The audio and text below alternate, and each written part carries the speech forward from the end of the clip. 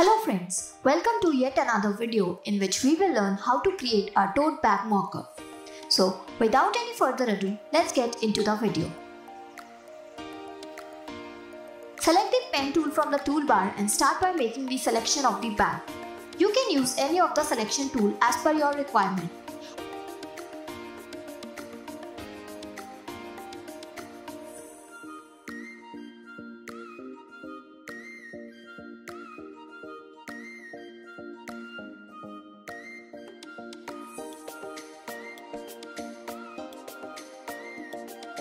Once the selection is done, right click and choose Make Selection. Press Ctrl or Command J to copy the selection to new layer. Now let's select the handle of the bag. For that, I will choose Object Selection tool. You can choose any of the selection tools.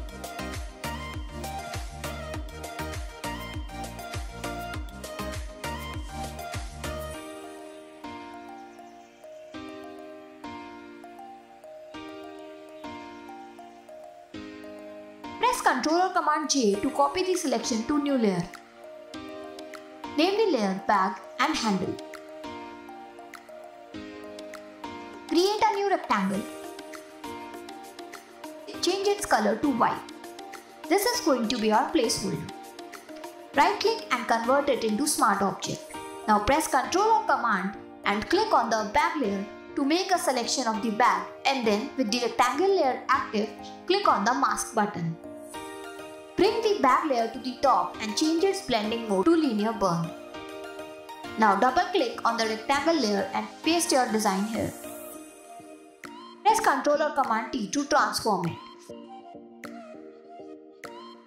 As you can see the mockup has been applied to our bag. Press Ctrl or Command J to make a copy of the bag layer and change its blending mode to multiply. Select the rectangle layer, right click and choose blending options. Here, move the white slider of the underlying layer towards left and press Alt or Option to break the slider for a smoother effect. Press OK. Now let's change the color of our handle. Copy the reference image for the exact color.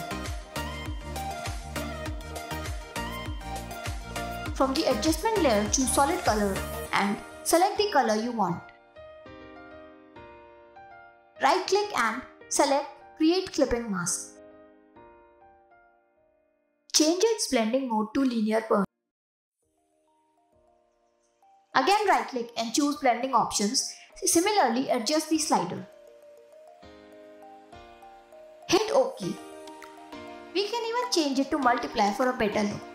And that's it, you are done. If you find this video helpful, do like it and don't forget to subscribe to our channel. Thanks for watching.